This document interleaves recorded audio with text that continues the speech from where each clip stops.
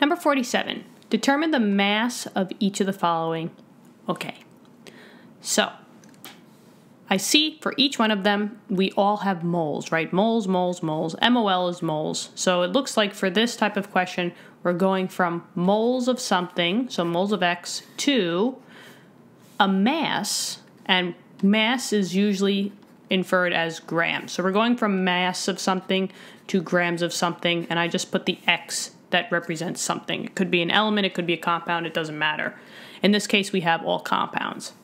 Now, how do you go from moles of something to grams of something? Well, you should know that one mole of anything equals the molar mass, so the mm, in grams of that compound or element, all right? So one mole of that compound or element equals the molar mass in grams of that element. So the first thing I want to say is you should know how to find a molar mass by now, right? The molar mass is always found on the periodic table. If you guys don't know how to find a molar mass, stop this question right now, go back to number 42 and beyond. So 42 and then just keep running through the playlist if you guys got the playlist. All right. So I'm going to do the molar mass for A, but then I'm going to assume that you guys know how to do them, so it will be quick, all right? So for these, you always start with what you're given. So for A, I'm going to start with 0.0146 moles of KOH. And now we're converting, so we times by a ratio. We don't want moles anymore, that goes on the bottom. And we want grams, because that's the mass grams of KOH. Okay, so what is the conversion between moles and grams? So we just said it, right? One mole of anything is the molar mass.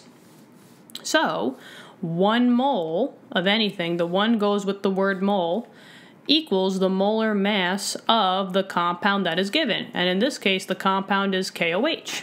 So let's figure it out. I'm going to put the molar mass over here. So what do we have? We have potassium, oxygen, and hydrogen, right? We have one potassium, one oxygen, and one hydrogen per each um, element in KOH. And then you just multiply by the masses. So we need potassium, which is over here. We have oxygen, which is over here, and hydrogen up top. So it would technically be 1 times 39.10, which is the same number, 1 times 16.00, and then 1.10, 1 times 1.008, right? Which is basically all the same numbers. And then at the end, you just add them up. So it would be the addition of the three parts, which will get your whole. So 39.1 plus 16 plus 1.008, which is 56.108. 56.108, and that's the number that goes here, 56.108. The words mole cancels out, and now all you got to do is just a simple conversion. You multiply, right? 0.0146 times 56.108, and you get your answer. So this answer would be 0.0146 times 56.108 and we need three sig figs because that's how many we started with in this uh, question. So 0.819 grams of KOH. So I'll just write this over here. 0.819 grams of KOH. Box that answer off. That's the answer to the first one. Let's keep moving. B. They now tell us that they have 10.2 moles of ethane, which is C2H6.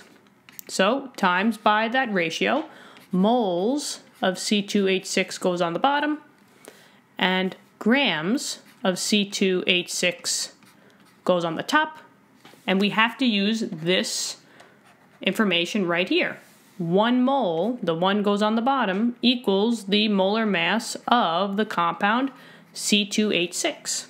So this is where we're going to make it a little faster. We're going to shortcut it. I'm not going to write it down. You guys should know. We'll check our answers, right? So let's see. Let's see if you get the same thing as me. 2 times 12.01 plus 6 times uh, 1.008. Now, if you want to, you know, shorten the numbers and just say 1 and 12 and 16, be my guest. I don't care. I'm just going to make sure that I just write whatever's on the periodic table here. So this would be 30.068. Cancel out the word moles of C2H6, and then you multiply by 10.2. And that you get 307, because we need two sig figs, grams of C2H6. So that's the answer to the second one. 307 grams of C2H6. Let me erase, and then we will start anew. What do you guys think? You think this is easy? Let me know in the comments what you think. Hopefully it's easy for you guys. I want to make it as simple as simple as possible. All right, so I'm going to check this off. C. We got 1.6 times 10 to the negative 3 moles of Na2 SO4. So times by that ratio, we don't want moles of sodium sulfate, Na2SO4, so that goes on the bottom. And we want grams, right? So grams of Na2SO4 on the top. One mole is the weight on the periodic table. So let's go for it. Let's see if we get the same answer. 2, because there's two sodiums. 2 times 22.99, you could say 23, plus, uh, we got 1 sulfur, so that's 32.06, and then we have 4 oxygen, so 4 times 16. You should get 142.04, cancel out the moles, because the units are the same, and then we just multiply. So 142.04 times 1.6 times 10 to the negative 3. We need two sig figs because that is what was given here. And it's 0.23 moles. Actually, no, we canceled that moles. Grams of Na2SO4. So this would be 0.23 grams of Na2SO4. Box that answer off. D 6.854 times 10 to the third moles of glucose, C6H12O6. So, same thing as before, times by that ratio. We don't want moles anymore, so moles of C6H12O6 goes on the bottom, and the grams of C6H12O6 goes on the top one mole is equal to the mass on the periodic table. So we got carbon, hydrogen, and oxygen. 6 times 12.01 plus 12 times 1.008 plus 6 times 16. So you get 180.156 these cancel out. So 180.156 times 6.854 times 10 to the third, and it is the third, it just checked.